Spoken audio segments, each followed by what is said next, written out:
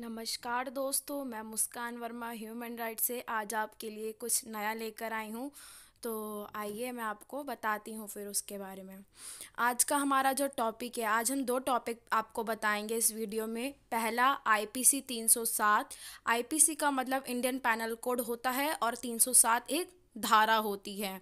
और हमारा जो दूसरा विषय है वो है आईपीसी 302 से 304 क्या है आईपीसी 302 से 304 कब लगाई जाती है? ये धारा इसमें सज़ा क्या है? तो आइए देखते हैं फिर।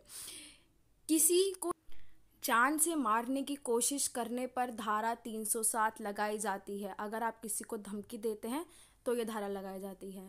कोई एक आदमी दूसरे आदमी को जान से मारने की कोशिश करता है और इस हमले में दूसरे से आदमी की जान नहीं जाती है। तो पहले आदमी के ऊपर जान से मारने की कोशिश का चार्ज लगता है, जो आईपीसी 307 होती है। दूसरा पॉइंट आईपीसी 307 की सज़ा 10 साल की सज़ा, मगर दूसरा व्यक्ति ज़्यादा घायल होता है। अगर उस आदमी को ज़्यादा से ज़्यादा चोट लगती है तो उसको उम्र कैद की भी सज़ा हो सकती है। यानी कि ज़िंदगी भर के लिए। ये नॉन कॉन्जिएबल ऑफेंस है मतलब पुलिस स्टेशन से बेल बिल्कुल भी नहीं मिल सकती है उसको। इसमें हाई कोर्ट से बेल का प्रावधान है। तो आइए अब देखते हैं दूसरा विषय। जो कि है हमारा 302 से 304 की धाराओं के बीच।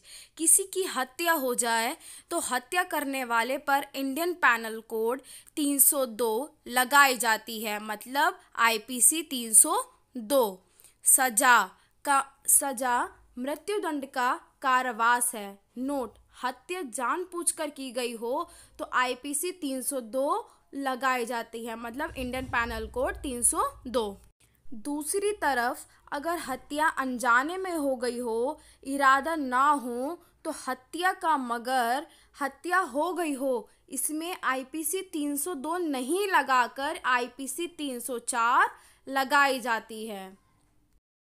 आईपीसी 304 मतलब अनजाने में बिना किसी इरादे के किसी की मौत हो गई हो तो आईपीसी 304 लगता है। उदाहरण के लिए मैं आपको एक एग्जांपल देती हूँ। आपने किसी व्यक्ति को ज़ोर से डांटा और उसको हार्ट अटैक आ गया हो तो आईपीसी 302 ना लगाकर आईपीसी 304 लगाई जाती है। Thank you so much for watching my video please subscribe my channel and also press the bell icon